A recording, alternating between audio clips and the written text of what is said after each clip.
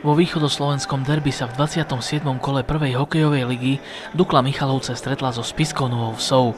Obe mužstvá boli v dobrej forme. V predchádzajúcich dvoch domácich zápasoch Zemplínčania nadelili svojim súperom dvojciferný počet gólov.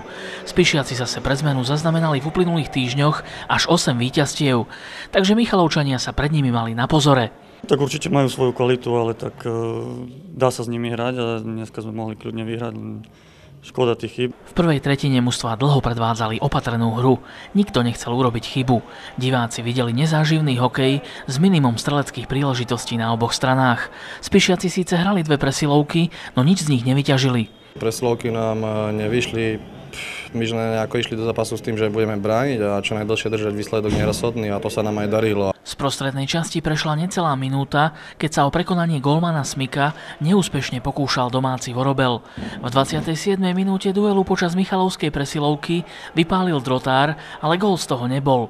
Stav súboja sa po prvýkrát zmenil v polovici zápasu.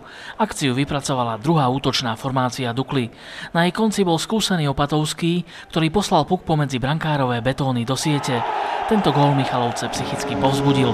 Samozrejme nás e, nakopol, boli tam nejaké šance, mali sme tam chvíľu aj tlak nejaký.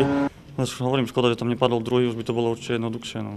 Ani v záverečnej časti zápolenia celky neukázali nič svetoborné. Viac sa však darilo hosťom.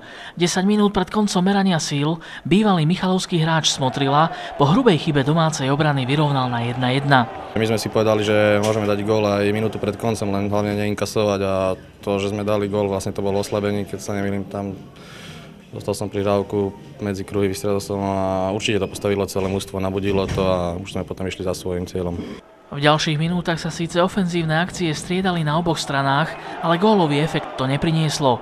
Schyľovalo sa k predlženiu. Zverencov trénera Ladislava Spišiaka ale niečo viac ako pol minúty pred záverečným klaxónom nepríjemne schladil koky. Ten po Smotrilovej akcii poslal hostujúci kolektív do vedenia. Takže úderná druhá útočná formácia z Piskej Novej Vsi v zložení Koky Smotrila Škovíra zabezpečila svojmu týmu nielen prvý, ale aj víťazný druhý gól. Proste začalo to pádať, tréner nás dal dokopy a zatiaľ to funguje výborne, by som povedal. Všetci traja si rozumieme, hráme technický hokej, takže fakt úplne vynikajúca spolupráca. V samom závere stretnutia už Dukle nepomohol ani oddychový čas ani hra bez brankára. Michalovce podľahli Spiskej Novej Vsi 1-2. Síce zostali na štvrtom mieste tabuľky, ale v poradí 5. Spiska Nová Ves už na Duklu stráca iba jediný bod. Aj najbližší majstrovský súboj Michalovčania odohrajú na domácom ľade. Ich súperom budú Topolčany a duel sa uskutoční v stredu 18. decembra o 17. hodine.